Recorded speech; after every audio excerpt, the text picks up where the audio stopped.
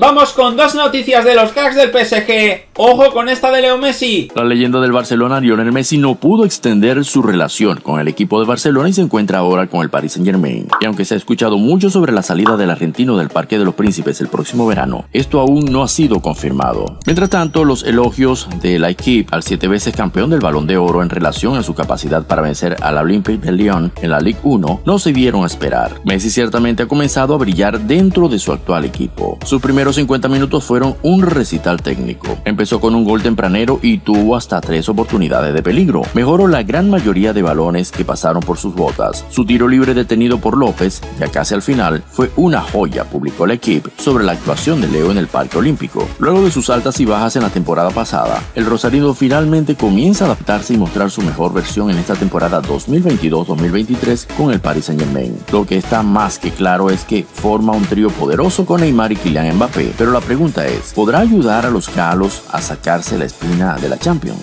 Por tanto, de nuevo la prensa francesa que se rinde a un Leo Messi que ha cambiado totalmente la perspectiva de dicha prensa esta temporada. Vamos ahora a hablar de uno de sus compañeros en el ataque parisino de Kylian Mbappé y es que está saliendo notablemente perjudicado de la buena sintonía que tienen sus otros dos compañeros de ataque, el propio Leo Messi y Neymar Jr. El Paris Saint Germain ha sumado 22 puntos en 8 partidos jugados en la Ligue 1, es decir, de 24 unidades posibles ha logrado casi el 100%. Gran parte del mérito se lo lleva el espectacular tridente que conforman Lionel Messi, Neymar Jr. y Kylian Mbappé. En su segunda temporada jugando juntos, los delanteros han demostrado una gran efectividad. Tienen grandes números, pero en las estadísticas hay una que no deja bien parado al atacante francés de 23 años y tiene que ver con los pases gol para sus compañeros del famoso trío. En lo que va de temporada, Kylian Mbappé no tiene asistencias. Ni en League 1, en Champions League, la Tortuga nunca ha servido ni a Messi ni a Neymar, hecho que pone en evidencia su egoísmo,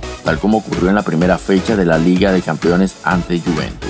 Luego de haber marcado dos goles ante los italianos, Mbappé volvió a gozar de otra chance para anotar. Quedó frente al arco de la Vecchia y pudo haber hecho un tercero del Paris Saint Germain. Tenía cerca Neymar, pero prefirió el disparo, hecho que generó una gran molestia en el brasileño. Este incidente marca la opinión de la prensa francesa sobre el egoísmo de Mbappé en esta temporada. Para el equipo, el popular Donatello no termina de entender lo que es el trabajo en equipo. Si bien lleva buenos números en la campaña, estos podrían ser mejores. Por otro lado, Messi posee 6 goles y 8 asistencias, 5 Mbappé y 3 a Neymar, en sus primeros 11 partidos en la segunda parte del año. El brasileño acumula 11 goles y 8 asistencias en la misma cantidad de presentaciones que el argentino. Mbappé anotó 10 goles en 9 partidos, pero por el momento no entregó ninguna asistencia.